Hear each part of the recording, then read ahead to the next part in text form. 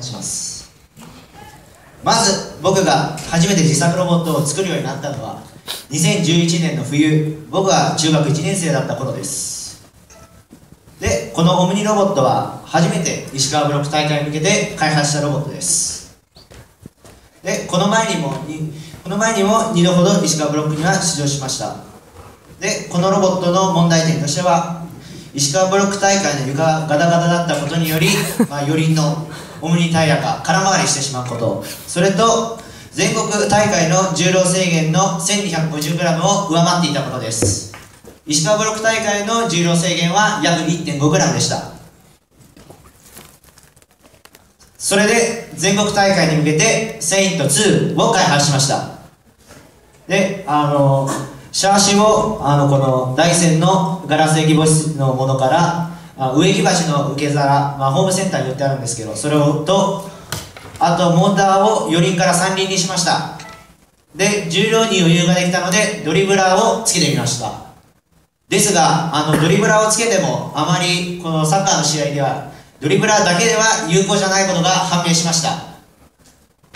でドリブラーはボールを保持するのにいいんですけれどもいざ得点しようとするところになるとあのボールをずっと保持したままゴールに突っ込んで永久に点が入らないっていう状況に陥ってしまいます。そこで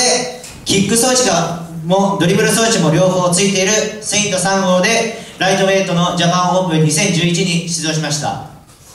ただしキック装置とドリブル装置両方つけるには重すぎます。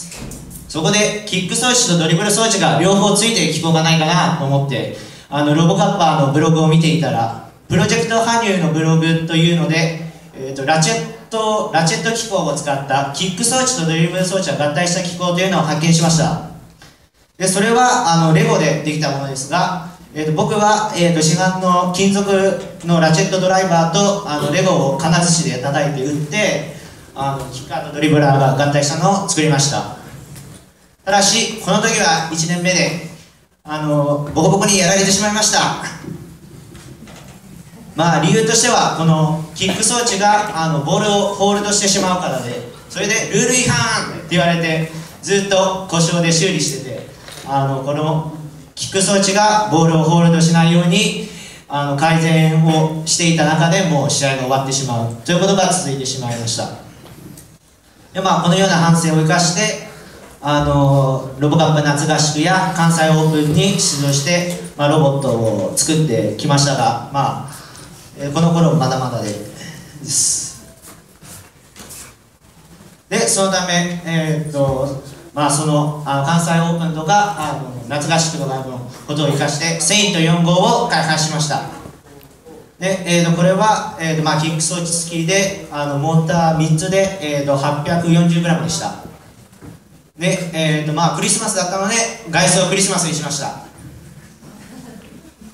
でそれでさてここで質問です。であの石川石川代表には選抜されることになりました。でここでこのロボットで全国大会に、まあ、全国大会当時3月だったんですけど出場すると思うでしょうか？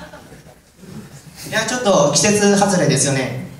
だからあのこのセイント5号で出場しました。えっとさっきあのさっきのあのスピーカーなんとかが申し上げて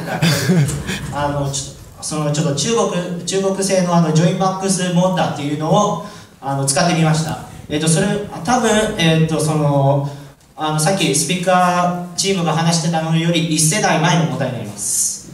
で、えーと、これで出動しました。あとボールセンサー、まあ、当時はパルスパルス号じゃなくて赤外線の普通の赤外線のボールでした。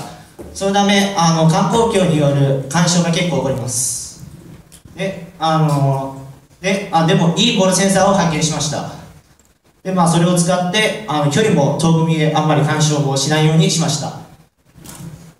でまあこれがきっかけでまあこの時まあ予選は4位でシード権をゲットできたんですがあのシード権をゲットしてあの決勝戦1回目でロボットは故障してしまい敗退してしまいました、まあ、ただしあのまあこのまあこれこのまあまあちょっと飛ばします。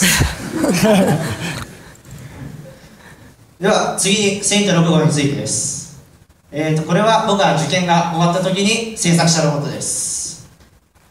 えー、と受験終わって、まあ、ちょっと難しいことに挑戦してみたいなと思って初めて機械を使って制作しました。で今まではこんなボロッチロボットまあ、こんな植木鉢を直接つけたなんかふにゃふにゃロボットだったんですけど、まあ、なんとかここまでに仕上がることができました。まあこんな感じですね。で今年の日本大会2014年ではまあこんなロボット、まあ、今年はライトウェイト B に挑戦してしましました。してしまいました。でそれであのねあの石川ブロック大会ではあの A コートしかなく B コートをあの学校学校の部活で作りましたで完成したのが2月であの、まあ、全国大会では、まあ、ラインに対応できずに、まあ、悲惨な結果となってしまいました。で、まあ、これはあのロボカップ夏合宿で知り合ったあの讃岐ユノンというチームの人と交流している写真です。でご清聴ありがとうございました。